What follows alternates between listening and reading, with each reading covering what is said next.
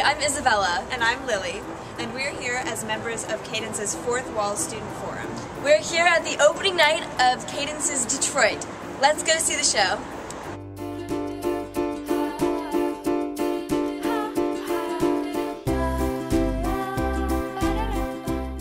Why do you think that this play is called Detroit?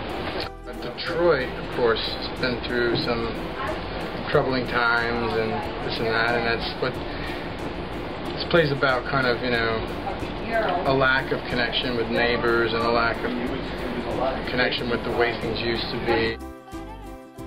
When um, a city or a family or people kind of go down so far and they sort of hit zero, which Detroit is in bankruptcy, it's having a lot of strife. There's nowhere to go but up, and sort of transformations can happen from that place.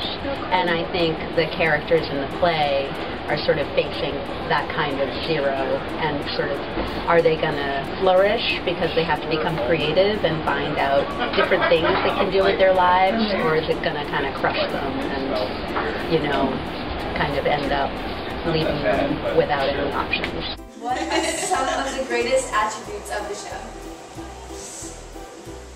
It's really funny. It's Yeah, really fun. it really is funny. Like that's all. Like that's the only way I can describe. it. It's just like really funny. It's, like, uh, super. It's just so anchored by strong acting, and it's just really funny.